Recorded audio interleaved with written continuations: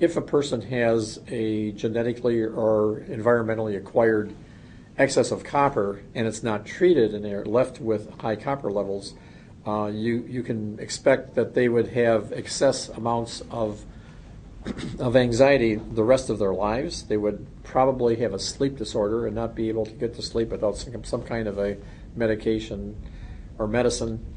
Um, they would be prone to some pretty nasty conditions. They would be more likely to to develop panic disorders, anxiety attacks, um, and they they uh, would be more prone to um, really serious problems like some of the mental illness issues, including schizophrenia and certain types of bipolar disorder. So some really nasty things can happen with high copper levels. Not only that, they are very prone to physical difficulties, especially cancer, because uh, copper is a well-known um, risk factor for cancer.